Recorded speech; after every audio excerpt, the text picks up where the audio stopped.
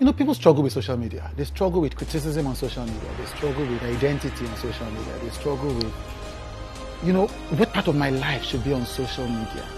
What part of my life should be off social media? But if social media is so, for want of a better word, ubiquitous in our lives, how do I navigate it? I think that Nkechi Blessing has figured it out. You know, that's in the way she does it in her life. Is social media is a broadcasting platform. It's not my life. It is separate from my life. It is as separate from my life as my camera is separate from my life, as a TV station is separate from my life. I can appear on the TV station, but it's not my life on that TV station. And you know, I think that this show was a, the things you said at the beginning were a masterclass in how to handle social media, especially as a celebrity and as a human being. It is not your life. You didn't get married there.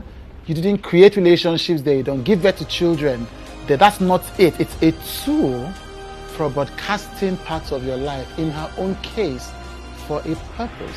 And therefore, she doesn't destroy relationships using social media.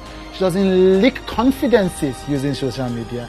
She knows who she is outside of the tools and the platforms that she uses. You know, I have found a way to navigate social media, but Nkechi gave me the language.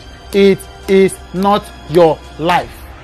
It's a tool to be used to enhance your life or to achieve your goals, and you don't want to forget.